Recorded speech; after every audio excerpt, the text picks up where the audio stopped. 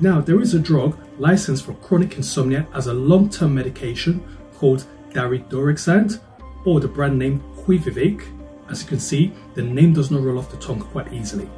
This means that the doctor can prescribe this medication without the concerns of giving you only a short-term supply. So for example, Zopiclone is usually given for 7 to 14 days and is advised to stop the use of the medication after 7 to 14 days, whereas daridorexant is something that can be given for a longer period of time. And while short-term insomnia is defined as sleep difficulties for less than 4 weeks, with long-term insomnia, you will notice that you have sleep difficulties going on for more than 4 weeks, as long as 3 months in some cases.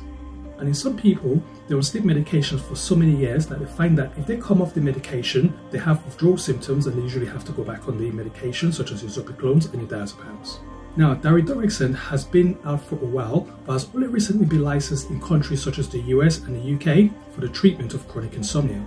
Daridorexant is an orexin receptor antagonist which means that it works by blocking the orexin receptors, your type 1 and type 2, which are responsible for the wakefulness cycle in the body, which means it keeps the body awake. So by blocking these receptors, it causes you to fall asleep and stay asleep.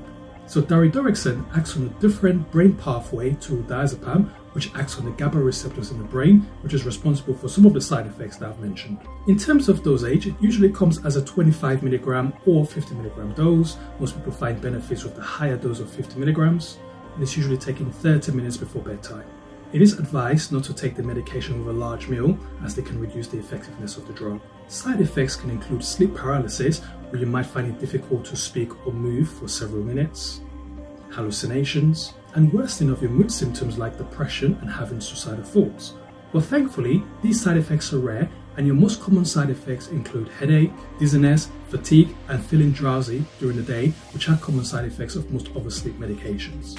However, generally speaking, the safety profile of daridorexant has shown to be much better than your other sleep medications such as your, again your diazepams and your zopiclones. So this drug has shown to be safe in elderly people, for instance. There are also other medications that can interact with daridorexant to increase or decrease the levels of the drug in the blood. And it's advised to avoid taking the medication while drinking grape juice or alcohol Grape juice can decrease the levels of the drug in the blood, while your alcohol can reduce your alertness and concentration levels, which means that you shouldn't take this medication if you're working in a safety critical role, such as if you're driving an HGV 44 ton vehicle, for instance, or if you're working at heights. The good thing about daridorexant is that unlike your diazepams and your zopiclones, there is no evidence of abuse or withdrawal symptoms after stopping the drug.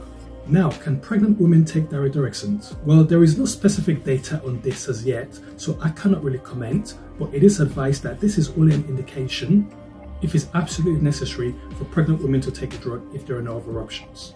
So daridorexant as a sleep medication is not a medication that can be bought over the counter, such as your Kalms, your Nytols, your Phenergans, and similar to your diazepam, your Zopiclones, your mirtazapines, your amitriptylines, it has to be prescribed by your doctor because your doctor has to look at your medical problems, has to look at any other medications that you're taking, and look at your safety profile if it's actually safe for you to be on a drug. And one of the indications for being on a drug is if other medications or therapies like CBT, which is cognitive behavioral therapy, which is actually the first line treatment for insomnia, is not working. And though daridorexant is indicated for long term use with no evidence of drug addiction or tolerance, like any other sleep medication, it is advised to come off the drug as soon as the treatment has been successful. I hope you've enjoyed this video. Please check out my other videos on prescribed and over-the-counter sleep medication to find out which is the best medication that is suitable for you.